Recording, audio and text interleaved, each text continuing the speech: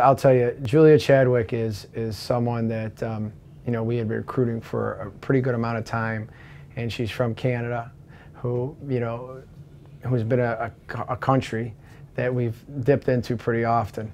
Um, you know, her being from Ottawa is a little bit different. We don't have anybody from specifically Ottawa, but it's not far from Toronto, and it's kind of in between of Montreal and Toronto, which Nadege is from Montreal, and then you got Michaela and Megan who's from Toronto, so she's right in the middle there. So why not, right? Um, but you know, she seemed to extremely uh, enjoy the visit. She extremely enjoyed the visit, and and her mother was on the visit with her, and she really loved what we were doing here.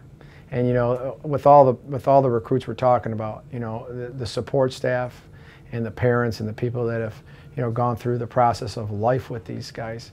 Um, means a lot to us when we get down to the nitty gritty.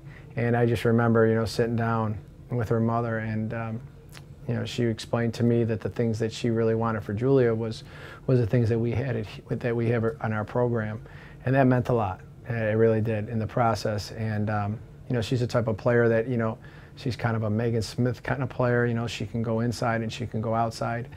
Um, you know, if she continues to get stronger and, you know, is continued able to bang inside and then also step out and shoot the ball like she's been, um, you know, she's going to be tough. You know, she's going to be really tough in that position for us. So, you know, um, her work ethic looked really strong. And, you know, when she came out here and got a chance to visit with the team, um, you know, she seemed to fit in really well. She seemed to be very comfortable with our student athletes and the culture that we had in this program. So that means a lot to us. You know, that it really does when when you fit really well with the team and you seem to kind of, you know, just kind of blend right in right away and seem to have the same kind of mentality and attitude.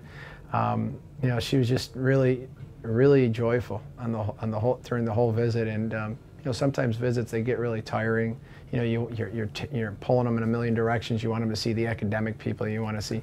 And I remember she was under the weather I remember that's a, specific thing with uh, Julia. When she came on her visit, there was so much anticipation. She was so excited to come up on the visit.